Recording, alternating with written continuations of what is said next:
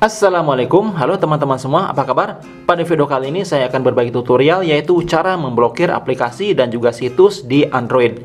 Untuk contoh di sini saya membuka aplikasi YouTube dan di sini untuk YouTube terkunci ya, alias diblokir. Begitupun saya ketika membuka website YouTube, misalnya youtube.com, maka di sini pun terblokir.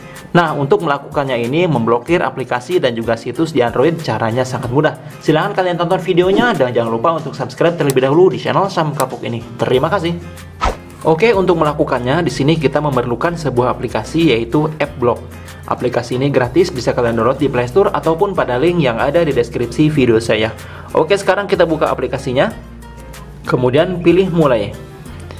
Berikutnya pilih buat profil kemudian klik lagi pilih. Lalu sekarang di sini tinggal kita atur untuk metode pemblokirannya. Berdasarkan waktu lokasi wifi atau batas penggunaan. Ya kita klik saja di sini waktu. Kemudian tentukan untuk hari. Bisa semua hari atau hanya beberapa hari tergantung kita e, kebutuhannya ya. Di sini saya akan melakukannya untuk sepanjang hari.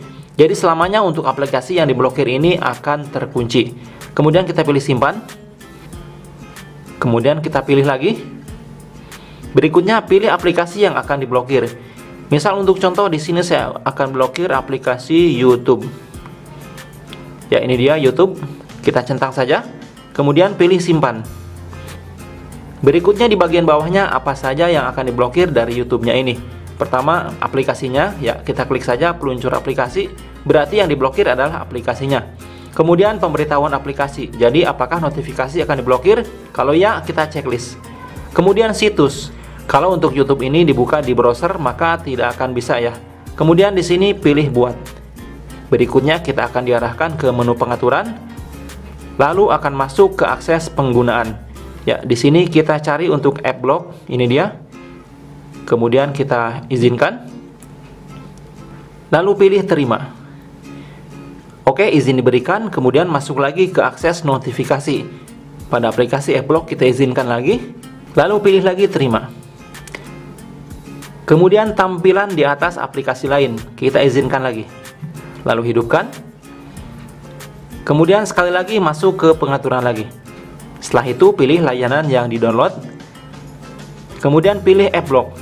Nah, di sini kita aktifkan. Izinkan Kemudian klik masuk ke pengaturan lagi. Ya, banyak juga ya. Di sini cukup kita kembali saja.